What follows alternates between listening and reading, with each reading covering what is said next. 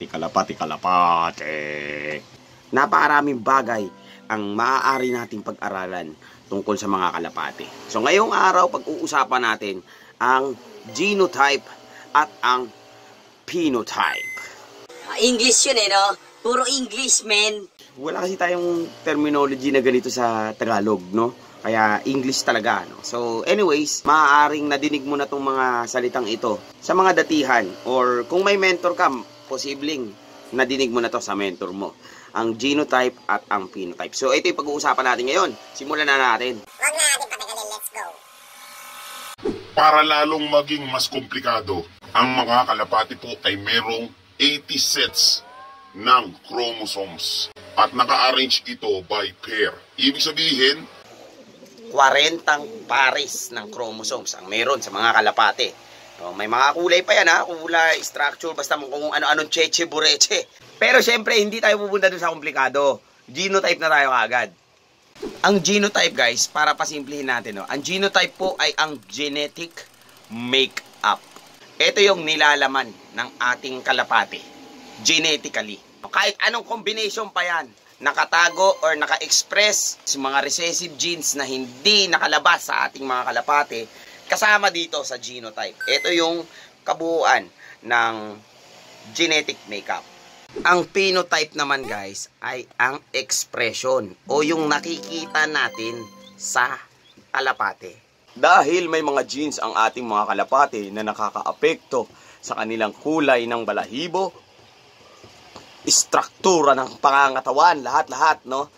Kung ano yung nakikita natin, yun po ang phenotype. Alright, ito, sample natin, no? Isang blue checker. Meron itong pattern na checker. Meron siyang blue base color. Yung blue base color, guys, jeans na yon, no? Pattern, jeans na yon. So, yan na yon. Genotype niya.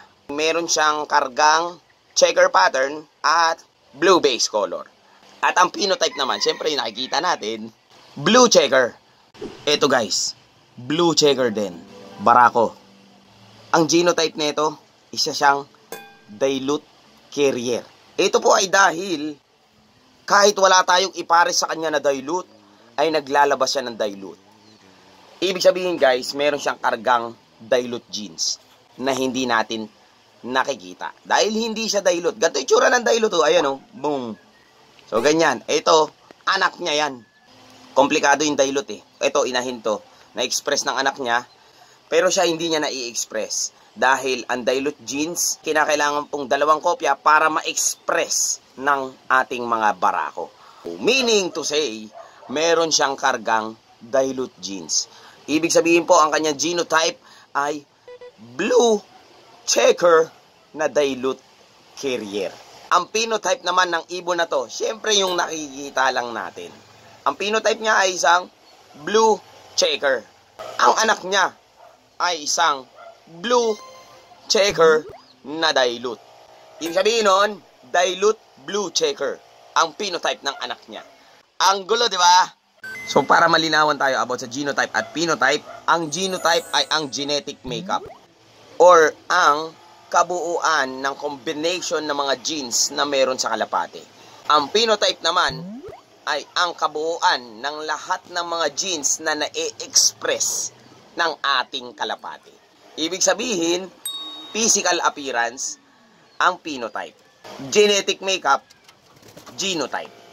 Meron pa tayong may sasample. Si Murky ay kulay black at si Hilda ay isang dilute na grizzle.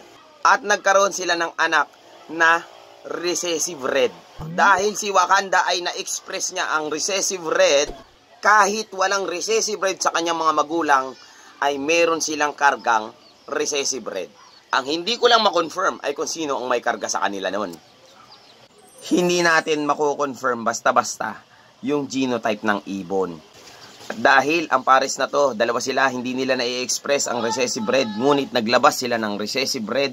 Assumption lang yung magagawa natin guys, no? Kasi wala tayong laboratory para ma-check kung ano talaga yung laman nito mga ibon na to eh. So, assumption natin, pareho silang carrier ng recessive red gene. So, ang phenotype ni Murky ay pure black, purong itim, puro kadiliman. Ang tawag dito, kalapating kadiliman.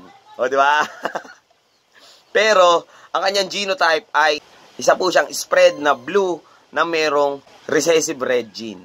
O, yung tinatawag natin na blue spread recessive red carrier. Napakagulo. Ganyan talaga, magulo talaga genes na usapan eh. Ngayon naman, si Hilda naman. Si Hilda po ay isang dilute grisel na non-spread. O ibig sabihin, hindi siya spread. Yun yung ano niya, yung genotype. Tapos, carrier din siya ng recessive red. Meaning, siya ay isang dilute blue grisel recessive red carrier. O, di ba? Masyadong komplikado yun, guys, yung recessive red genes, no? Isa sa mga special genes kasi yan. Kaya, isa rin yan sa mga pinakamahal na mutation sa mga kalapate. At ang phenotype naman ni Hilda ay blue grisel. Yun na yun. Ngayon lang nakikita natin sa kanya eh. Dilute blue grisel. Samantala ang kanilang anak, ang kanyang genetic makeup o genotype ay blue base recessive red. Dahil ang kanyang father ay blue base at ang kanyang mother ay blue base, siya ay automatically blue base din. Possible na siguro meron sa kanilang brown base. Pero sa tingin ko kasi walang brown base dito sa mga kalapati ko. Kaya blue base lang. No? Blue base na to, guys. Kulay pula siya pero blue base siya. Dahil hindi yan pwede maging ash red. Dominant yun eh. So yan yung genotype ni Wakanda. Blue base na recessive red. At ang kanyang phenotype naman ay recessive red lang.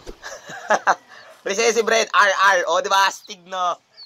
So, yun lang guys, no? Sana ay nakapagbigay ng linaw ang video na to about sa genotype at sa phenotype, no? Ibig sabihin guys ng phenotype ha, kung ano yung physical appearance, kung ano yung nai-express at ang genotype naman ay ang kanilang genetic makeup. So, yun lang guys, no? Ang galing ko, di ba? Gumawa lang tayo ng ganito, in-explain lang natin para lang tayong dictionary sa mundo. Yun, maraming maraming salamat sa panonood. Ako nga pala si Mastong at ito ang Warriors TV. Kita-kits tayo sa susunod na video. Bye-bye!